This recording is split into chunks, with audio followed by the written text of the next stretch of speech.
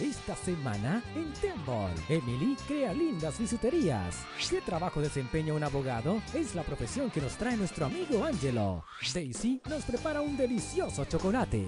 Fuimos a clases de ballet en Arraiján. Temple, a las 11 de la mañana por Ser TV. Producción nacional no tóxica.